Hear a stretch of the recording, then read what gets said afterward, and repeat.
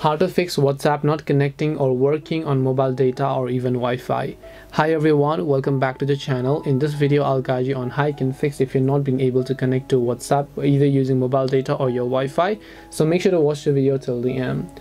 Now you might still amaze me, but this is still happening due to these changes in your network connection. It could just be that your network connection is quite slow so if you have some other wi-fi's then just try to switch to those wi-fi's as well and try to switch to cellular data but either of these is not working for you. There are a couple of things that you can do. First of all just restart your phone no matter you're using android or ios just go ahead and restart your phone. Once you restart your phone check if your net is working fine by trying to use some other applications such as instagram messenger or even facebook to see if your net is working just fine. Then just go ahead and long press the whatsapp app icon tap the i button as you can find it here.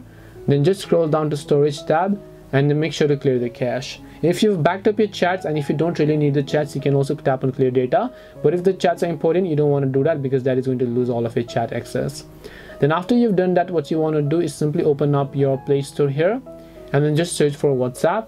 Check if the whatsapp app has an update and if it does then make sure to update it to the latest version so hopefully one of these may have helped solve your problem and if it did help solve your problem then make sure to leave a like and subscribe to the channel.